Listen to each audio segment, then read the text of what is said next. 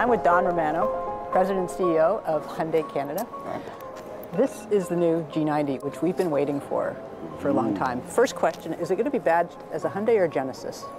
Oh, it's a Genesis. Genesis. Yeah. Are dealerships going to have a separate section for this car? Are, is there going to be like a division between the two when you go in? It's a good question, and it's one that we're still working on because a lot has to do with the economics of it. I mean, how many cars are we going to bring in our first, second year?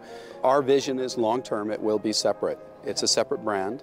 It's not a Hyundai brand, it's a Genesis brand. And it was born and developed strictly as a Genesis brand. So it will be a very unique luxury car company. What questions are you answering by producing this vehicle and the extension of it when it comes? Well, it's a good question because there's a lot of great vehicles out there in the luxury car segment.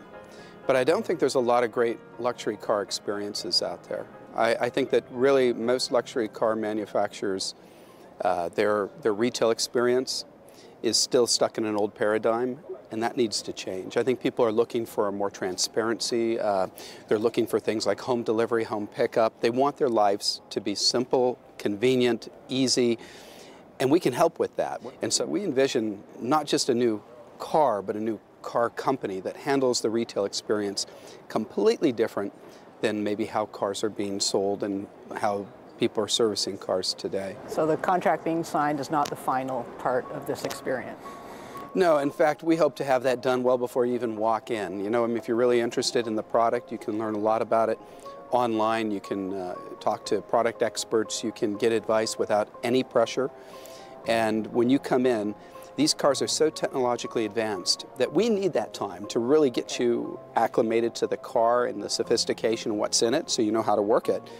And if we're spending all of our time trying to get you financed and work out the contract details. We don't have, you don't have the time to spend to do all of it. So our focus is going to be on the product experience. One more question.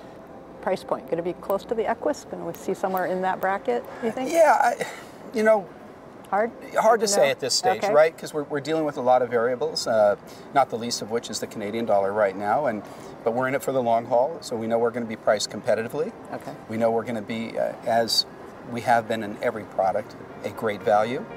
But when I say great value, it's not just a, from a price perspective, but from a content what perspective, you're what it. you're getting. And there is no more sophisticated car on the road than that one behind us. I think we can close it on that. Don, thank you so much right. for looking car. Thanks a lot.